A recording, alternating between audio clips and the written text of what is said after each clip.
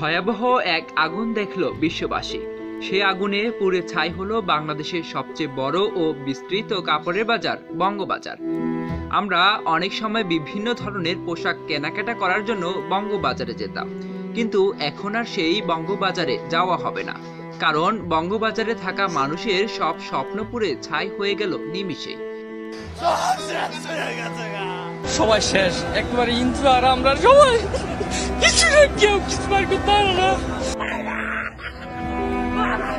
আমরা ড্রিমডি বাজারের পর্বে জানব বঙ্গবাজার নিয়ে বিভিন্ন ধরনের অজানা ও আলোচিত কিছু তথ্য।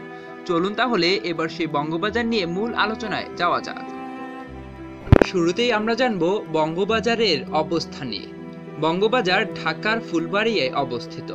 এটি মূলত তৈরি পোশাক বিক্রয়ের একটি বাজার। এই বাজারে সব ধরনের পোশাক পরিচ্ছদ ও পোশাক তৈরির কাটা কাপড় সস্তা মূল্যে বিক্রয় করা হয়। এখানে দেশের সকল এলাকার এবং বিদেশেরও অসংখ্য ক্রেতা প্রতিদিন ব্যক্তিগত ব্যবহার বা উপহারের জন্য তৈরি পোশাক কিনতে এখানে আসেন। খুচরা ব্যবসায়ীরাও এখান থেকে পাইকারি হারে মালামাল কিনে থাকে এবার আসা যাক বঙ্গবাজার কেন বিখ্যাত।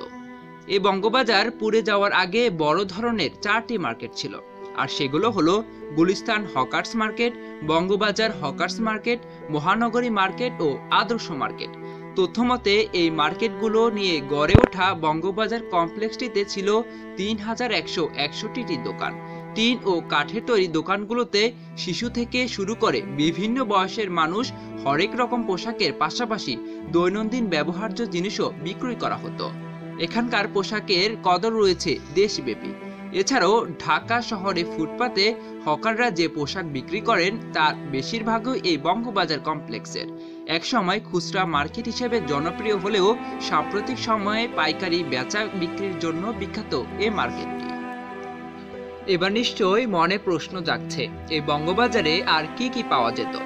ইতোমধ্যে আমরা প্রায় সবাই জেনেছি বঙ্গবাজারে দেশীয় গার্মেন্টস পোশাক, খুচরা এবং পাইকারি ক্রয় বিক্রয়ের জন্য দেশের বিভিন্ন প্রান্ত থেকে লোক সমাগম হয়।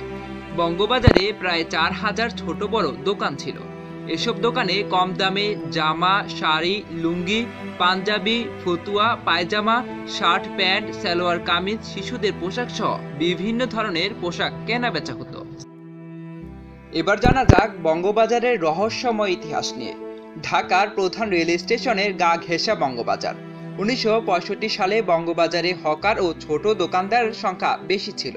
পরে সেখান থেকে রেল স্টেশন কমলাপুরে সরিয়ে নেওয়া হয়।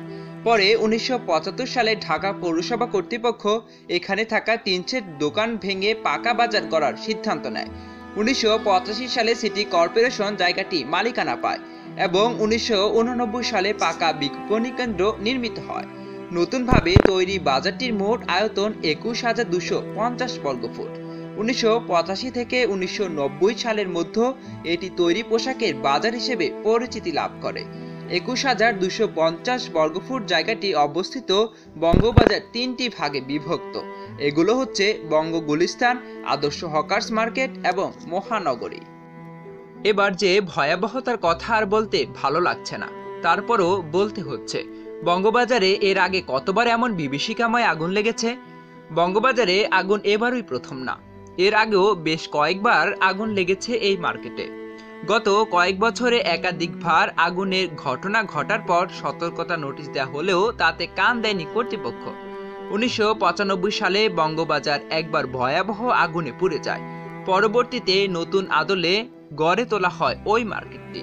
অপরিকল্পিতভাবে বাড়তে থাকে এর পরিধিও। তবে সামনের দিনে এমনভাবে যেন কারও স্বপ্ন পুরে ছাড়খান না হয়। সে প্রত্যাশা আমাদের সবার।